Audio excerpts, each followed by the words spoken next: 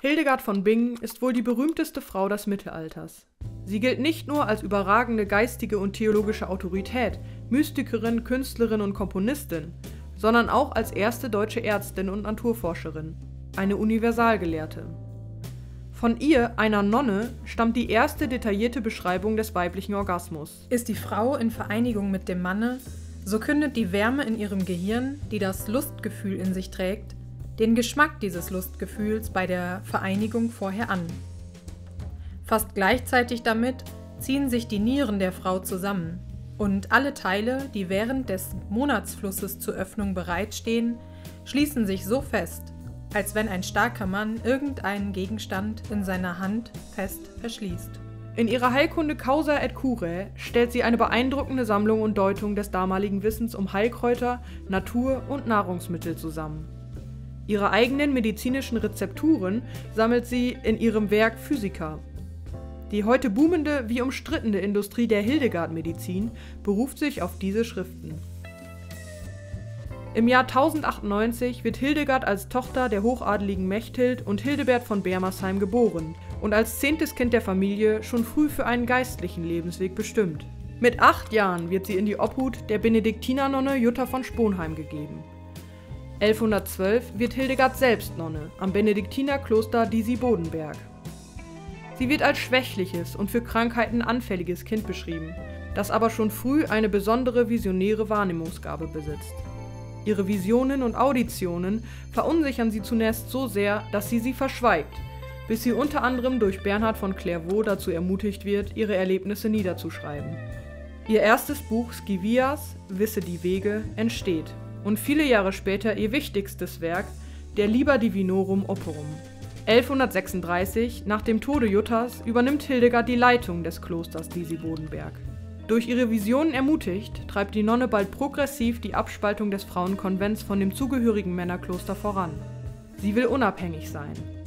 1150 schließlich ist ihr Kampf erfolgreich und sie gründet mit ca. 20 Nonnen ein neues Kloster auf dem Rupertsberg in Bingen am Rhein. Bei allem Visionären und Unkonventionellen bleibt Hildegard bei der Gründung ihres eigenen Klosters standesbewusst. Ausschließlich adlige Frauen werden in ihren Konvent aufgenommen. Welcher Mensch sammelt seine ganze Herde in einem einzigen Stall? Ochsen, Esel, Böcke, ohne dass sie auseinanderlaufen. Erwidert sie auf die Kritik an dieser durchaus ungewöhnlichen Vorgehensweise. Hier ist nicht Jude noch Grieche, hier ist nicht Sklave noch Freier, hier ist nicht Mann noch Frau, denn ihr seid allesamt einer in Christus Jesus. Das Paulus-Zitat, auf das sich Hildegard als Frau immer wieder beruft, gilt bei ihr selbst nicht für alle. Hildegards Visionen und ihr natur- und heilkundliches Wissen sind schnell in aller Munde. Bereits zu Lebzeiten ruft ihre Person Staunen und Bewunderung hervor. Sie wird als Prophetissa Teutonica verehrt. In Scharen pilgern die Menschen zu ihr, um geistlichen und medizinischen Rat zu erbitten. Die Berufung auf göttliche Visionen ist im Mittelalter für Frauen oft die einzige Möglichkeit, ihren Gedanken und ihrer Expertise Gehör zu verschaffen. Sich als Seherin zu outen, ist gleichzeitig keineswegs ungefährlich, solange man nicht offiziell von der Kirche als Prophetin anerkannt ist. Papst Eugen III. bestätigt jedoch um das Jahr 1147, dass Hildegards Gabe nicht vom Teufel ist. Diese offizielle Anerkennung ist von unschätzbarer Bedeutung. Sie verleiht Hildegard eine gewisse Autonomie, befreit sie von ihren Selbstzweifeln und stärkt ihre Verhandlungsposition.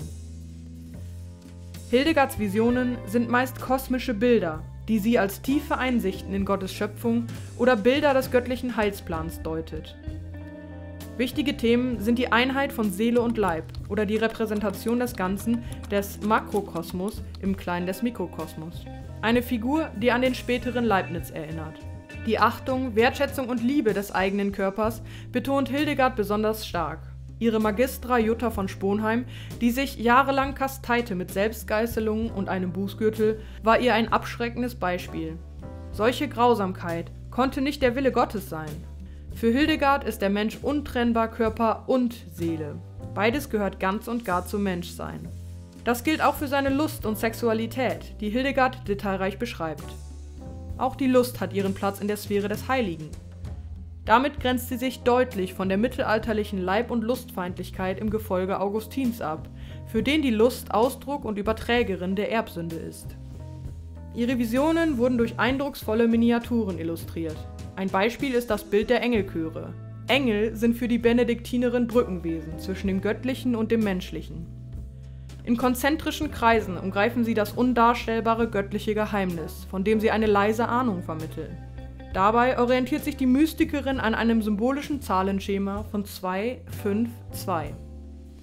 Die äußersten beiden Kreise stellen die Engel und Erzengel dar. Sie verrichten Botendienste und vermitteln zwischen dem Göttlichen und dem Menschlichen.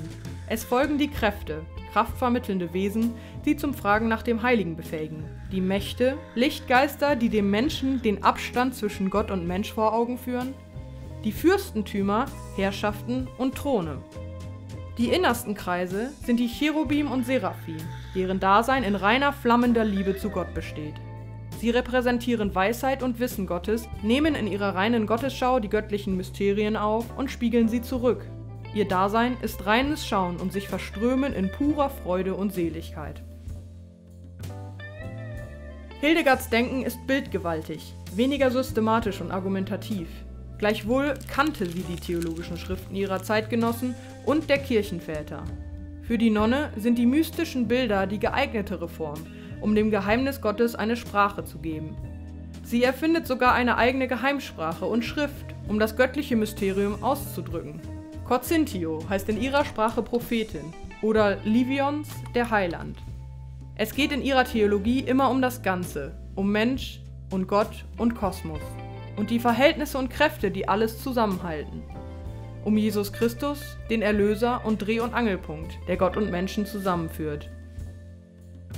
Hildegard wird Zeit ihres Lebens von Krankheiten geplagt. Trotzdem erreicht sie ein damals fast biblisches Alter. Am 17. September 1179 stirbt Hildegard von Bingen mit 81 Jahren. Um ihr Leben und Sterben ranken sich zahlreiche Legenden. Während und nach ihrem Tod wird sie wie eine Heilige verehrt. Ihre offizielle Kanonisation scheitert jedoch vorerst, auch wenn an ihrer Heiligkeit zu keiner Zeit Zweifel bestehen.